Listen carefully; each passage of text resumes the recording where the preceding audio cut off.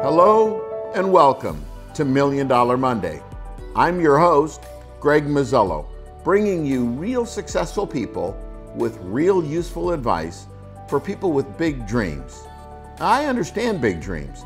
I turned an investment of $200 and a lot of great advice from some really successful people into my big dream, Proforma, that today is a half billion dollar company.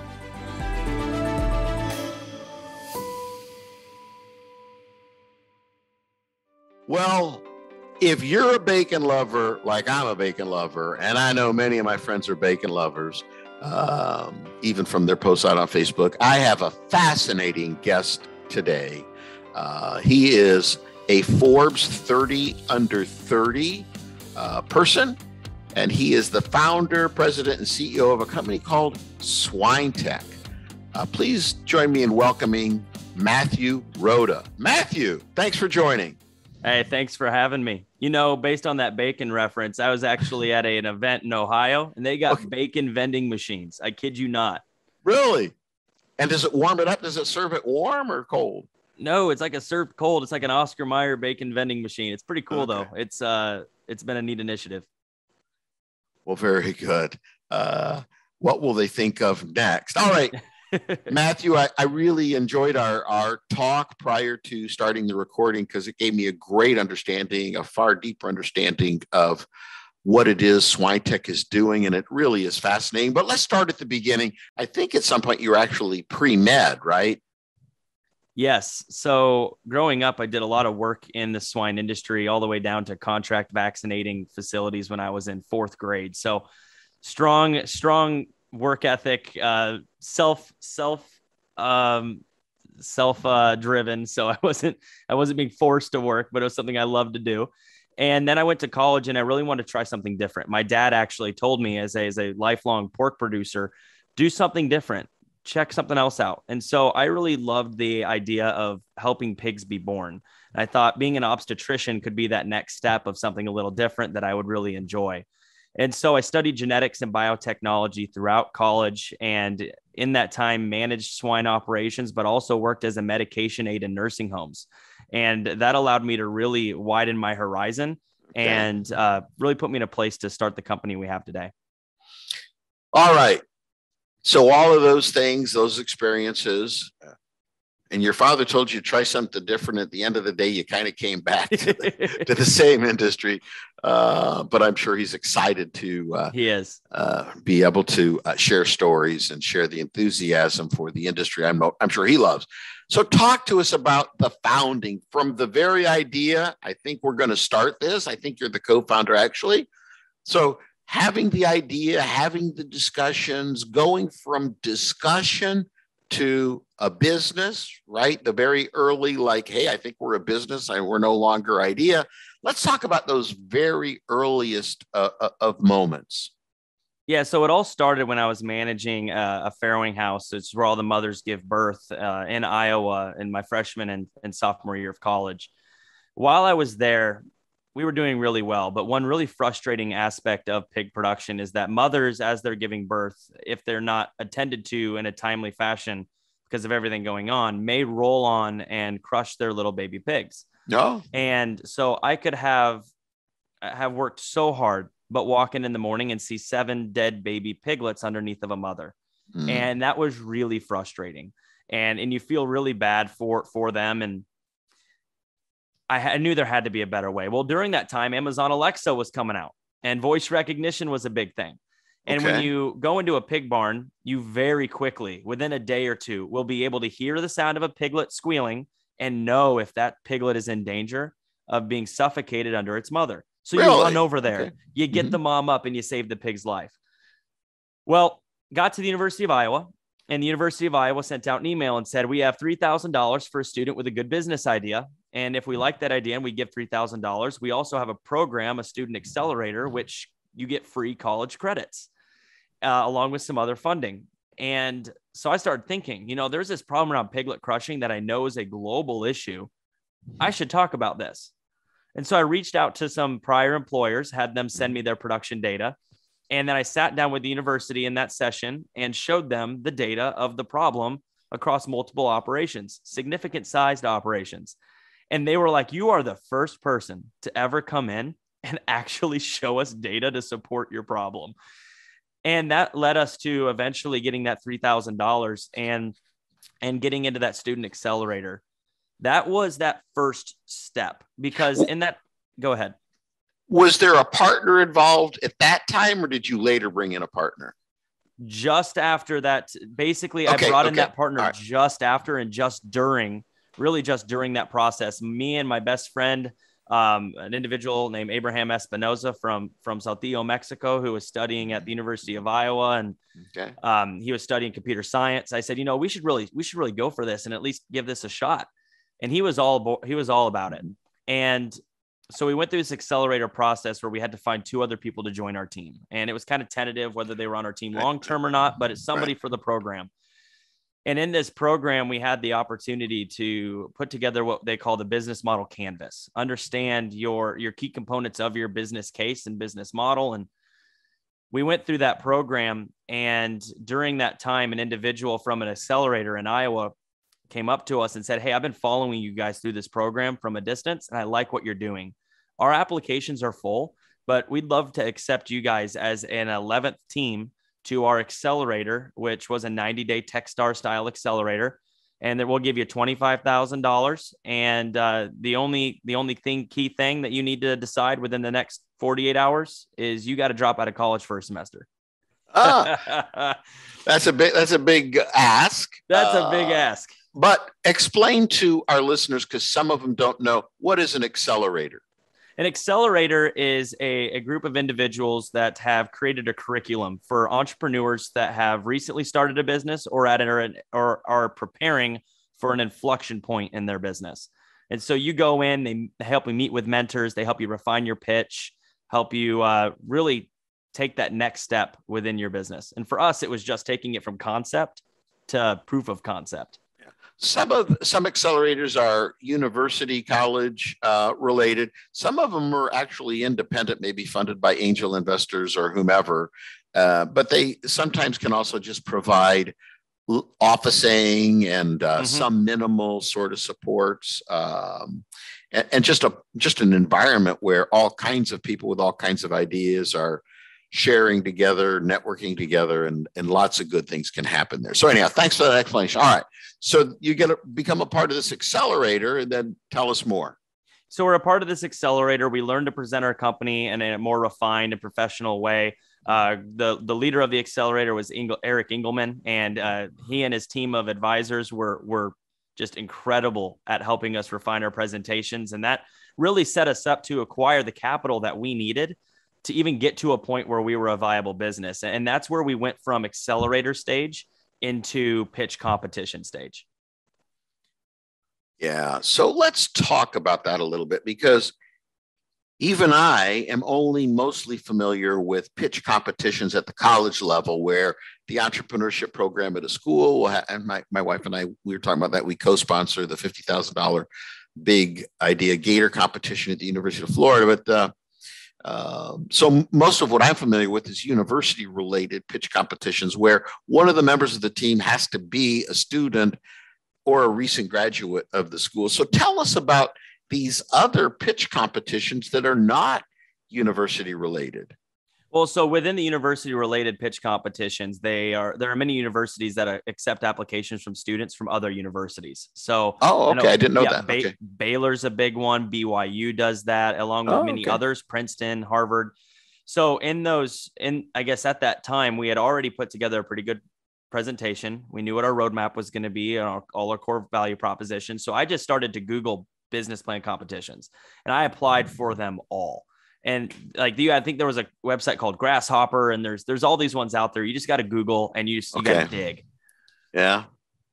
With within that though, it's for us the hardest part was how do you get accepted? When, once you're on stage, we we did very well. We won 25 of the 31 we competed in, but I might have filled out like 90 applications to to wow. present at business plan competitions, and you really start to get on a circuit and you start to see the same people because once you figure it out it's a pretty good source of revenue to really keep your business moving on. And uh, typically, the people that are good at it find a way to get to the other competitions as well. 90 applications. And over what period of time in pitching um, in, in these various competitions, over what period of time and how much money did you raise? So we really started competing in business plan competitions that the the very beginning of 2016 with the QEC competition in Queens out of Canada. Uh, we came in second in that one, but then quickly went on to Princeton and MIT and, and Harvard and Microsoft and all these others and got first. And uh, within about a year, year and a half, we were able to acquire just over $300,000 in non dilutive grants from these competitions. And that really allowed us to build out the proof of concept hardware mm-hmm. that we needed to raise a seed round of funding. Okay. By non dilutive, explain. A lot of people don't know. No strings attached. Here's a right, check right. for $50,000 and you do right. with it what you think is best for your company. No own, no ownership. Correct. Uh, just yeah, yeah, more of a grant, if you will. Yep. Um, okay, so for a year, a year and a half, you're going around North America. It sounds like actually raise eventually three hundred thousand dollars. Is the business up and running yet, or no? There's still no real operation or sales or revenue.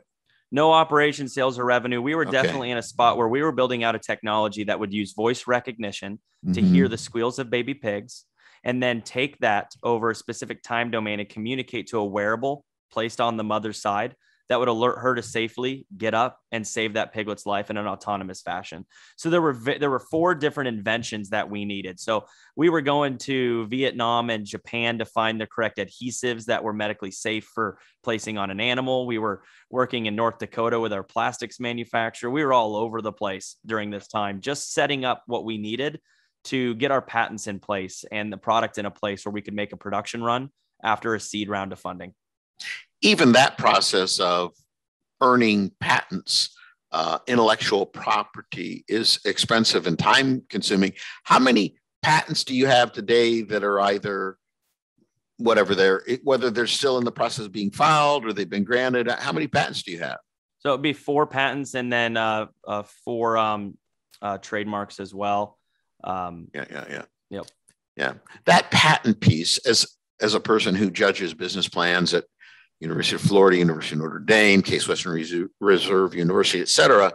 I think that's one of the big things that I know I look for is, hey, this is a really great idea, but once you start doing it, what what are you doing to you know kind of close the door on other organizations competing with you? Because just to breed competition by itself is is not really a very awardable uh, business. I know you know that right? Protecting your concept is a huge piece and part of it. Um, how did you go about finding the right patent attorney, being able to afford it, um, being able to understand the process of it all? T- tell our people about the importance of that and how you went about it. Yeah. So what we did is we worked with local entrepreneurs that have done things like this in the past, and they recommended who to work with and who not to work with, and who might be the best fit. I think when we looked at patents, it's definitely a great barrier to competition. Um, but then we also take a look at uh, other things we do in software, right? We look at Facebook and these other companies, and and we had an advisor who told us, you know, you're going to have things you can't protect, you can't build a moat around, but you're the only one who has the specific vision of where you're going. And so the question shouldn't be, can somebody copy you? Because they're most likely going to copy you different because they don't understand your core vision. The real question should be, is your vision right? Because if your vision is right, the ability for other people to compete or catch up or keep up, it's tough unless they have just a, incredible amounts of funding. And so that was something we held dear to heart. And we really took both strategies to heart and, and pushed with those.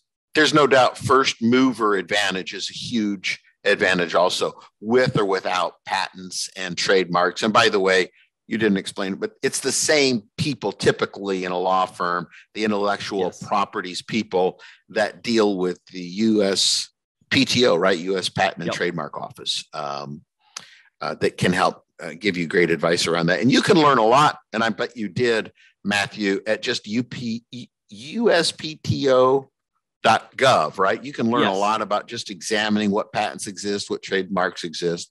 Um, so they those... actually USPTO.gov even has a like a fourth grade math assignment about saving pigs. So we competed in a competition with them, and uh, we we got first place. We were awarded gold uh-huh. medalist as from the USPTO office as a student in the undergrad category. And then a year later, uh, we see on Google this fourth grader thing evolved from innovation. It was hilarious. Wow. So someone out there is learning to save pigs in math. you know, all right. So I'm fascinated uh, by the story. I didn't know there were that many resources to go and raise money. Uh, and I'm really loving learning all of this. So at some point, though, you've got the patents, you've got the products, you've got all of the processes, et cetera.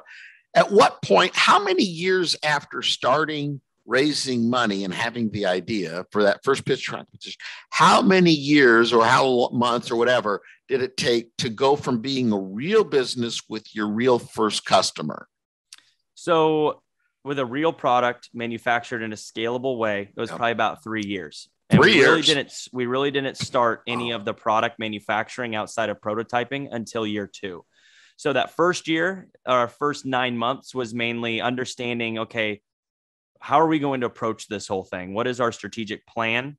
And then the next year was how do we get the initial grant funding that allows us to prove what we're talking about can actually take place. And then with that, we had the social proof from all of these competitions and agencies to go out and say to investors, look, we have something of potential value. Would you be willing to give us a seed round of funding that allows us to go chase this? Did you have an initial seed round of funding uh, prior to even being a revenue generating company?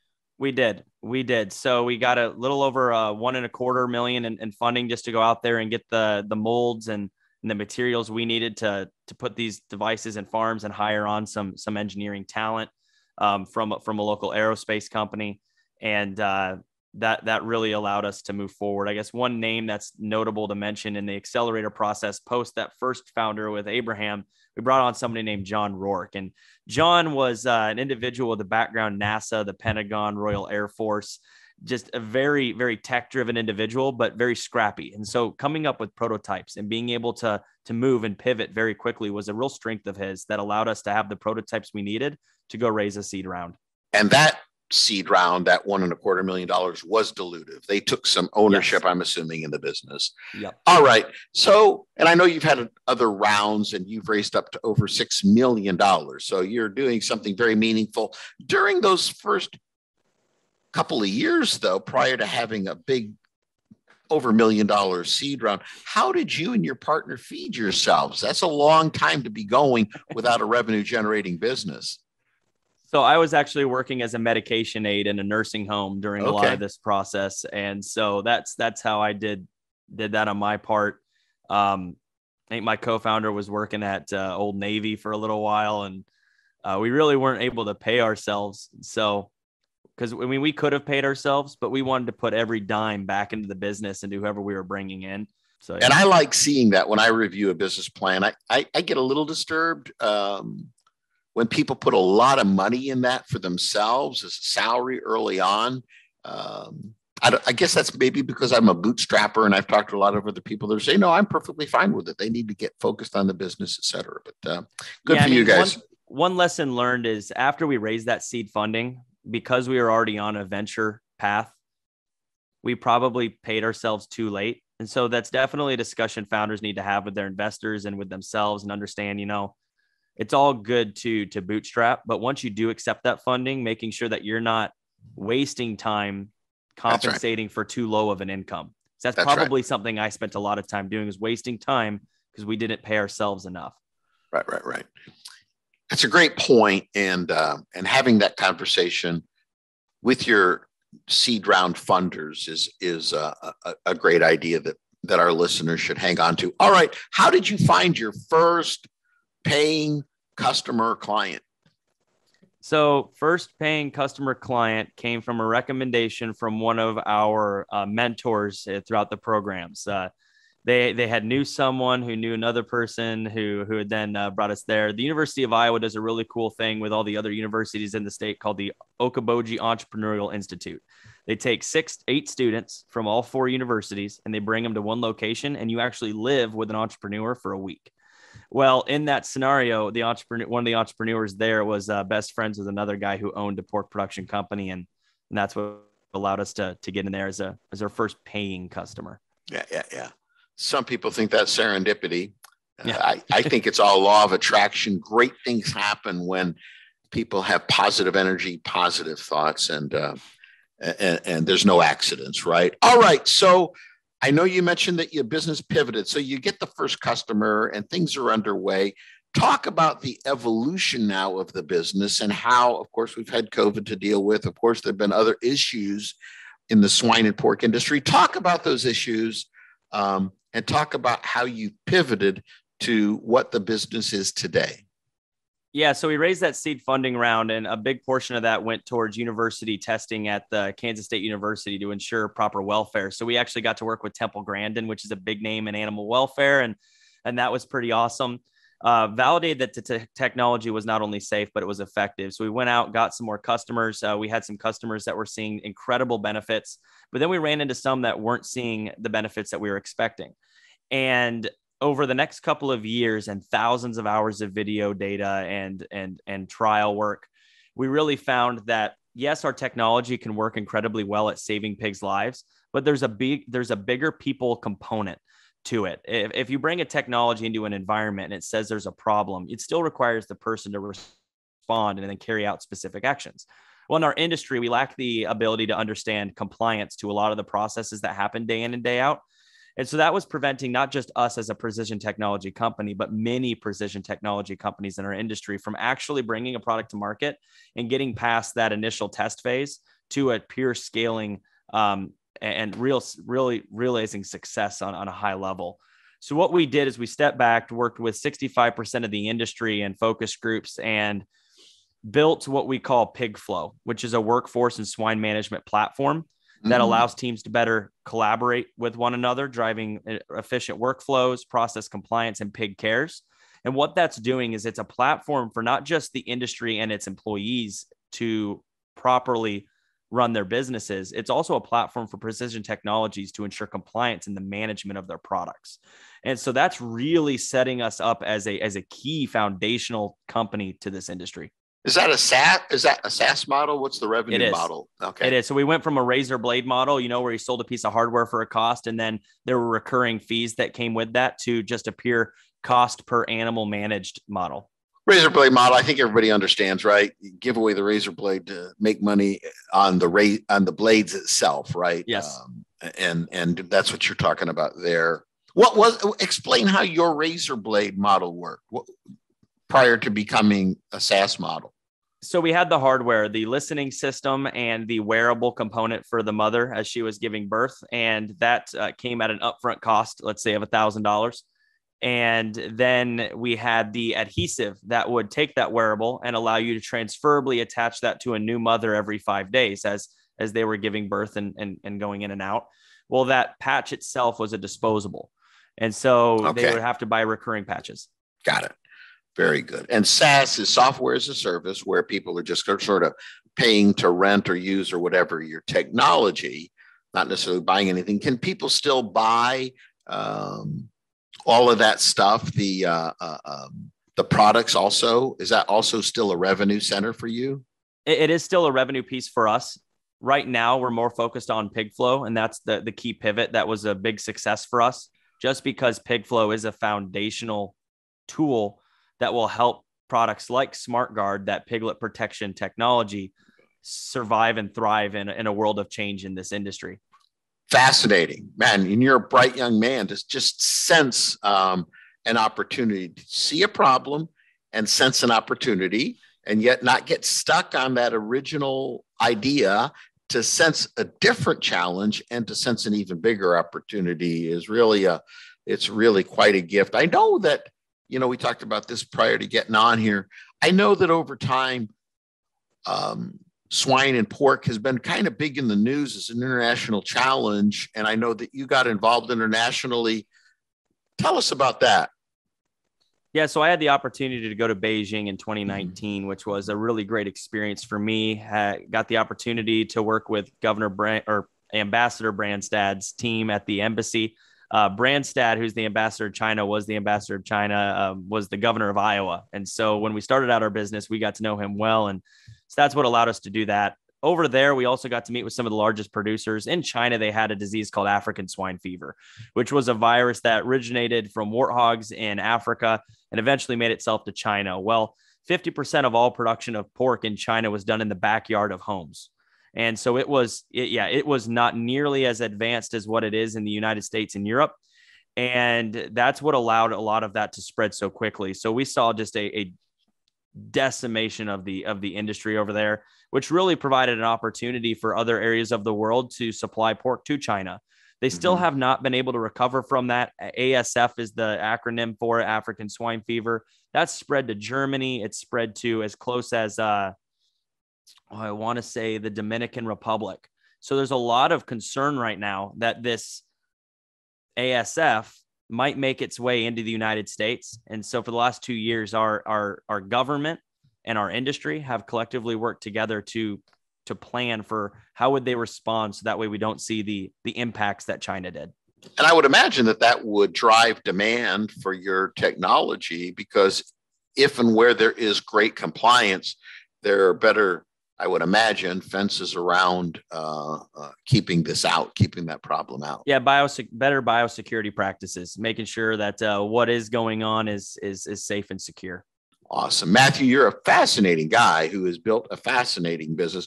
No wonder you're a Forbes 30 under 30 award winning entrepreneur. Um, now tell us, uh, you've already built a dynamic business, a successful business with international recognition. What are the big dreams you have left for this business and for your life? Yeah. So with this business, the the big dream that I might have is that we can, at one point in time, as a society, have complete welfare assurance and traceability within the supply chain, and, and that's going to really take a lot of collaboration throughout our industry. Um, safe and secure pork that focuses on pigs, people, planet. Uh, the sustainability story that comes with this pork should be the first carbon neutral source of protein um, that that's uh, that's consumed in this world. So that could be pretty exciting. Um, at least animal protein. Mm-hmm. Um, personally, it's it's kind of an open book. There's yeah. a lot of directions that I could go. There's there's yeah. a lot of people that I've been able to meet, and there's a lot of change that's going to happen. When we look at the last 10 years, so much has happened. So I can't imagine what the world will look like in the next 60 years. I'm highly confident, Matthew, that you will find more challenges and opportunities uh, to apply your creative problem solving skills and create new and exciting opportunities for you and the world. Matthew, thank you very much for joining us. Thank you.